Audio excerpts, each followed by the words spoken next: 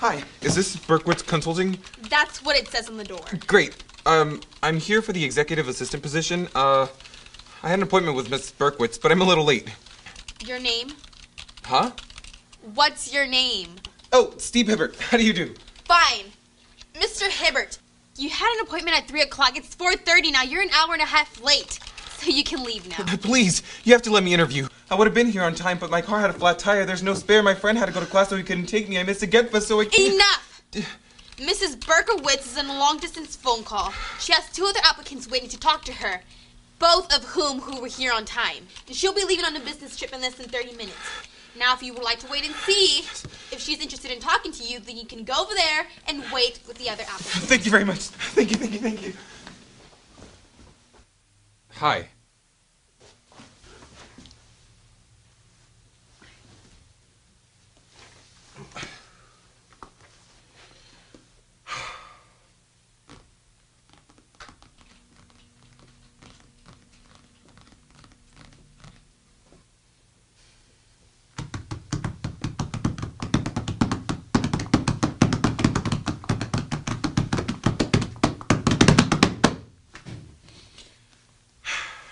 Mm-hmm.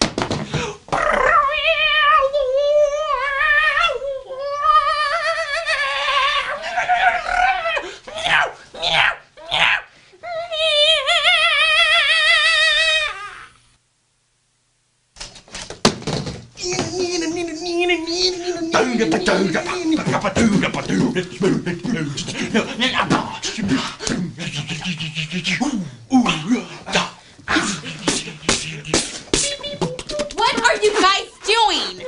What is going on out here? Uh, Well, you. Well, I, I, well, I, I, well, Get, he, he, was get, he was them throwing it. just He was get throwing them it. out of here. Now, Go! Now! Is this young man applying for the administrative Ye- yes, assistant? yes, but Good. Oh, come into my office. This position requires someone who can remain calm under pressure, and from what I've just seen, you're the man I'm looking for. Let's talk salary.